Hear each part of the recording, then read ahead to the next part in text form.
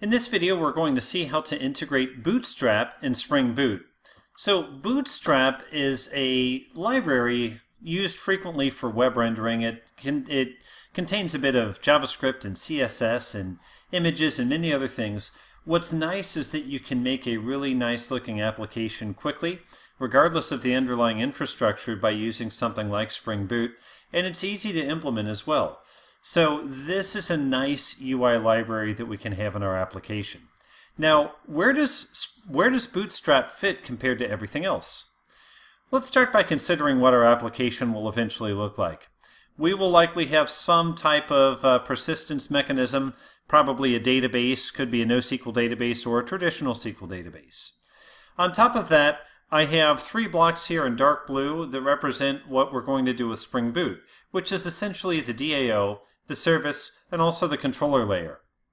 We know that we need to have some type of HTML view that the user can look at and interact with. And Thymeleaf is a library that interacts between both Spring Boot and also our HTML page, and it essentially makes our Java data available on that HTML page. That's what Thymeleaf is doing. It's just making the stuff available it doesn't have a really big component library like we'd like to see in something like Bootstrap. So Bootstrap comes in to be that HTML rendering library that we're going to use. Now one easy way to integrate Bootstrap is with something called a content delivery network where essentially there's data sitting cached several places around the world and we can just kind of reference that data. So I'm going out here to Bootstrap CDN so that we can link from this page, link from our page to this page here. So first of all, you see at the time of this recording, 413 is the most up-to-date version. So we're simply going to uh, grab a couple of items here. We're going to copy.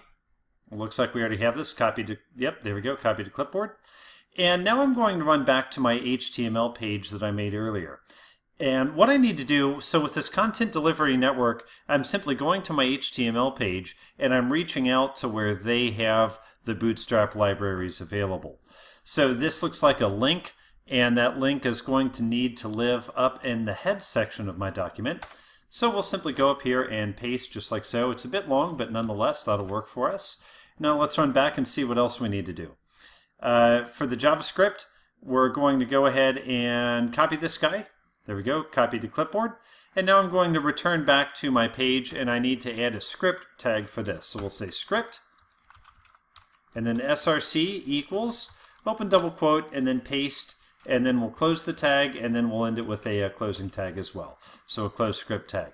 Now let's look at a simple proof of concept that we can use. I just went to get, getbootstrap.com and I'm clicking on Get Started. Now up at the top I'll search for input because I know we have a couple of these and I come to input group.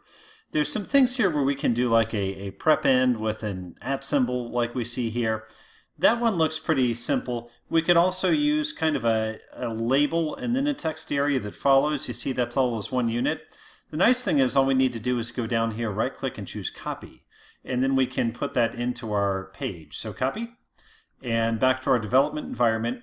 And let's take something like latitude. So I will paste that nugget that I have above, okay, and we'll change the label here to latitude, just like so. Well, we don't need the colon because I think there's a enough difference um, enough difference in the in the color where we don't need the colon. Okay, uh, input type equals text. Let's see how that compares down here. So basically, we're taking this one line and we're replicating it up above here. So input type equals text. We got that. Class, we're not worried about. That's a bootstrap thing. Uh, label, not too worried about. Looks like what we can do then is we can just go ahead and take these other attributes, name and th field, that we used in a very simple Thymeleaf tag, as you see here. Let's go ahead and add that into our input tag that we got with Bootstrap up above. So you see this is interesting because we're mixing the class and the CSS information from Bootstrap with the attributes that are described by our Thymeleaf library. Both of them are using the standard HTML input tag, so we don't have any kind of uh, we don't have any kind of conflict on the tag there.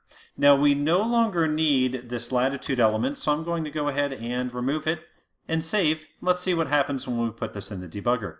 I've restarted the application and I've refreshed the page and take a look. You might remember that latitude used to look like longitude, description, and plant as we see below. But after implementing Bootstrap, it has this more comfortable Bootstrap look and feel where it doesn't look so much like an old school HTML page. But what's more important is that we've confirmed with just a couple of lines, we've been able to integrate Bootstrap into an existing application. In this case, just happens to be a Spring Boot application, but really could be any application. Now, the next test is if I put a latitude value in here, and we'll go with 39.75, will that actually be sent over to the server? So let's go with 3975 minus 8450. Description will say a beautiful specimen. Uh, plant ID will say 12. Just a couple things we can remember. Now I'm going to choose Submit, and we notice Eclipse lights up orange, which is good news. We go ahead and we go to the debug perspective. Here's the real tell. If we look at specimen DTO, what is the latitude? And I come over, this is probably easiest to expand, and we see that sure enough the latitude is 39.75. So by adding Bootstrap, our Thymeleaf and our Spring Boot integration still works the same way. And that's because Bootstrap is essentially just a combination of CSS and JavaScript and some HTML elements, and Thymeleaf, in this case, is just adding some attributes to some existing HTML elements so they both work well together. So I hope this video has been helpful. In the next video, we'll see how to do a nav bar with Bootstrap. I look forward to seeing you then.